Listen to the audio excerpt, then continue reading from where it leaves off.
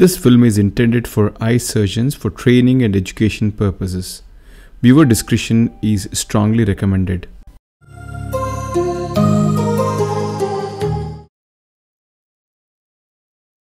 Hi, this is a 32 year old man with a posterior subcapsular cataract. He's posted for surgery and let's see how things go. The surgery is being done under topical anesthesia. First, the two side ports are created.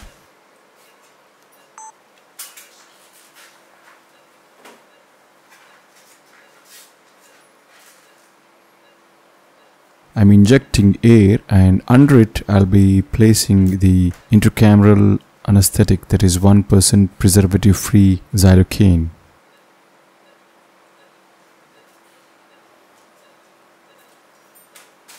OVD is injected into the antechamber and the air bubble is burped out.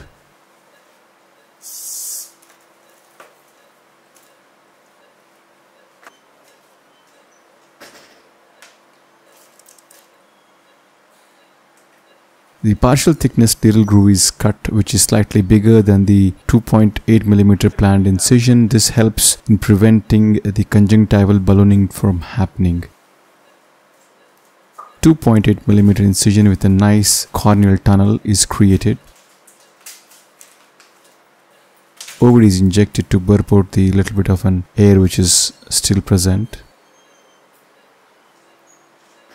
Now sizing the rhexis becomes is extremely critical in modern day cataract surgeries. We want at least 1 millimeter of the anticapsule to wrap around the optic of the IOL all around. So that ensures the best refractive outcome in the post-op period and also possibility that it decreases the incidence of posterior capsule opacification especially when used in combination with the hydrophobic lens. My trick here to ensure that it is well centered is I'll ask the patient to keep looking at the light and the rhexis is always done with centered around these three light reflexes which I'm seeing.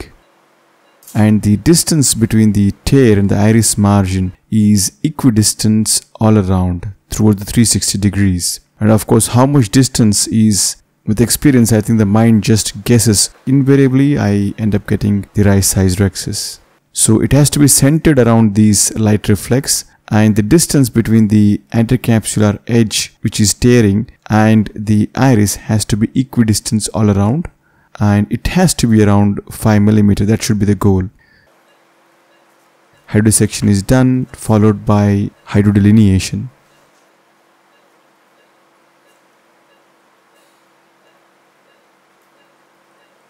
Using a blunt Sinskey hook, the nucleus is rotated, just confirming that the cortex and the nuclear mass is devoid of any capsulocortical adhesions. Now moving on to the settings. Uh, in this case, because we're predominantly dealing with a soft cataract, so I'm just trying to trim and eat around the epinucleus there. The nucleus is going to be extremely soft. So the, my power is set at just 5%. The flow rate is around 40 and vacuum is 600. So in young patients, these soft cataracts are extremely easy to handle.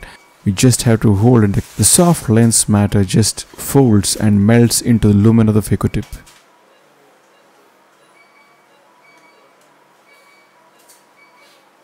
The endonucleus is aspirated followed by epinucleus.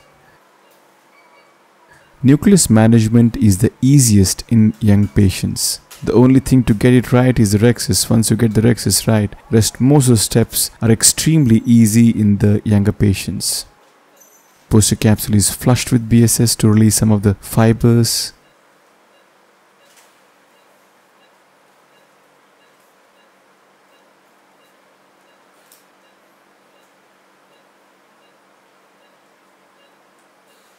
Time to perform the cortical aspiration. Cortical aspiration is done by using bimanual I&A.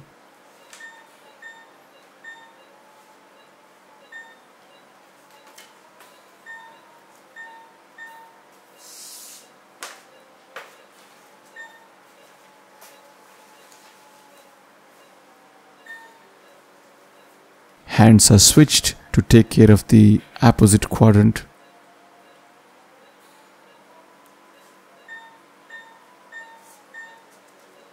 So very quickly the all the cortex is aspirated out. Just cleaning the poster capsule by flushing it with BSS gently. This is a very quick way of cleaning the poster capsule. Many times we may end up struggling by using vacuum polisher but I find that just gentle flushing with BSS quickly cleans up the poster capsule. The capsular bag is inflated with OVD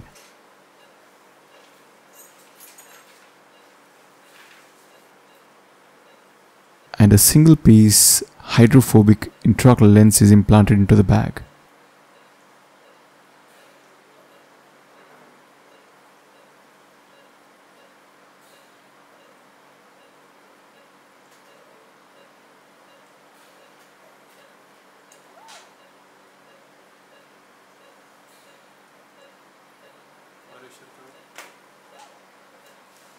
I can see that the anti-capsule does not look to be very clean so I would always want to have a very clean looking capsule. It's debatable whether polishing the anti-capsule or is going to really have any impact on poster capsule but hopefully by using uh, the polisher and trying to polish the equator of the bag if you get access maybe the incidence of PCO can be minimized but at least on table, when we polish this anti-capsule, it at least satisfies me that the entire capsular bag looks very clean. So that's the reason why I do this especially when I find that the when the Rhexis is slightly of a smaller side but in this case the Rhexis was perfectly fine. But still in this young patient I would always want to have a clean capsule.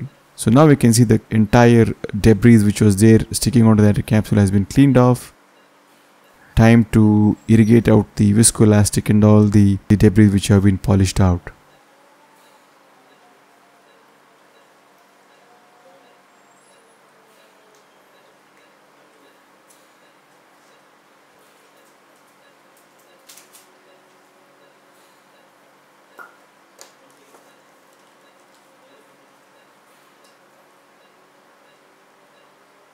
So in a couple of seconds, OVD and everything is cleaned off and now we have clean capsular bag.